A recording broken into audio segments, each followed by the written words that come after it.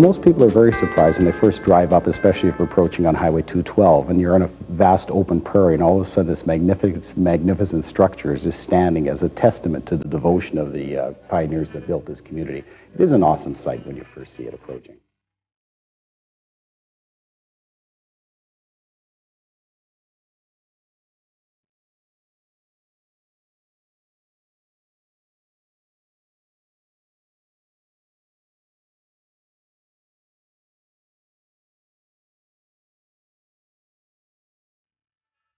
It's 100% built by 100% volunteer church labor, the uh, parish here.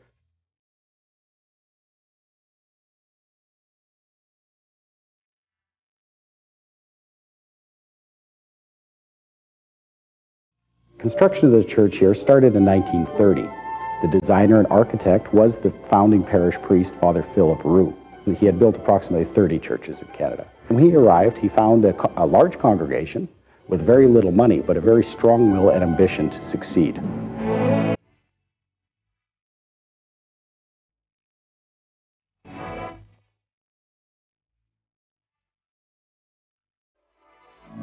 Keeping in mind the Depression years, uh, there was no large pieces of equipment to construct the parish.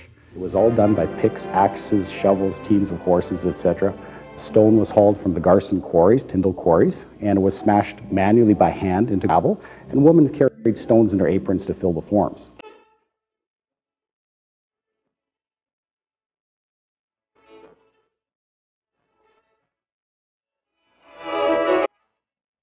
The church was uh, decorated and painted by local amateur artists according to Father Ruh's plans.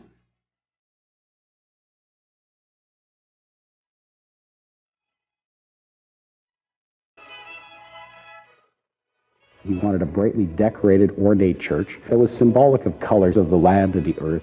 As you look around inside the church, you'll notice that we have the blue, blue ceiling pertaining to the sky.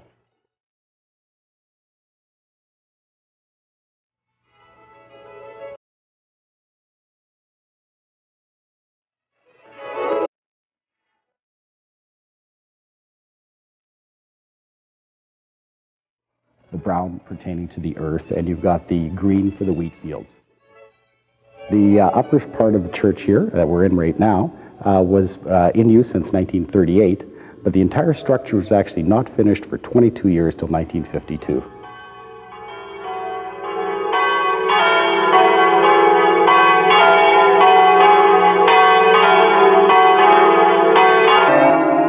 There's three bells in the bell tower. Now, in 1936, people of Alsace-Lorraine, a little town on the border of France and Germany, that's where Father Ruh was initially from, they heard about the good work he was doing in Canada building churches.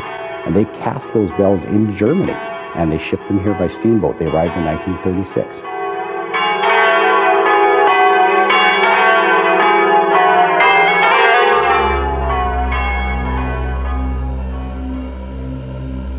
Father Ruh had visited Lourdes, France on several occasions. That's where St. Bernadette had the apparition of the Blessed Virgin Mary, where she saw the Blessed Virgin Mary appearing, and many miracles had occurred there. Father Ruh wanted a devotional site here in Canada. Well, he was well into his 70s already. In 1954, he started construction of the grotto, the Calvary, uh, and, the, uh, and the Stations of the Cross that are depicted in the grotto.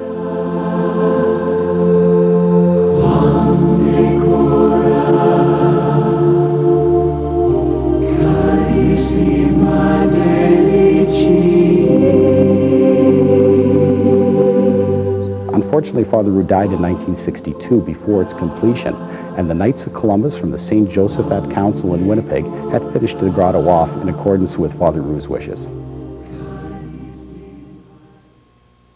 The uniqueness of its architecture is, is, also one of the reasons why we are designated a provincial and as well a federal heritage site, uh, because of the true Byzantine nature of the architecture with the columns, the vaults, and the pillars.